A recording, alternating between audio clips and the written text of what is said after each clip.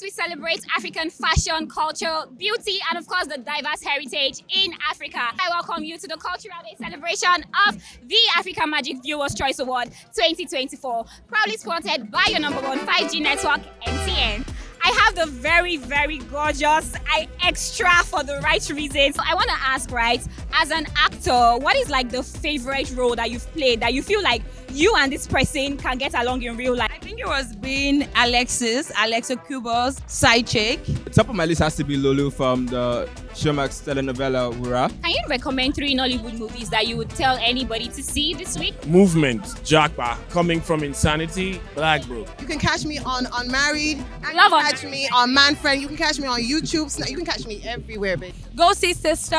Go see Brotherhood. That's another one I love. Go see uh, She Must Be Obeyed. I say Tunde Kelani's Ayinla.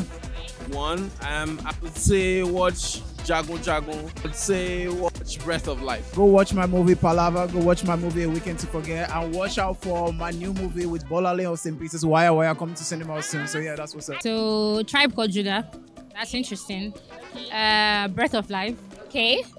Ahamefuna. Breath of life, breath of life, breath of life. As an actor, would you rather be in a successful Nollywood movie or a Hollywood flop? I'd rather be in a successful Nollywood movie. Ha ha ha ha. A successful Nollywood. Successful Nollywood film, you stand. Successful Nollywood movie. I just want to be in good films. That's all. Nollywood, Hollywood, You Bollywood. can't really stand on the fence with this. I, I just want to make films, baby. Would you rather see drama or horror? movie?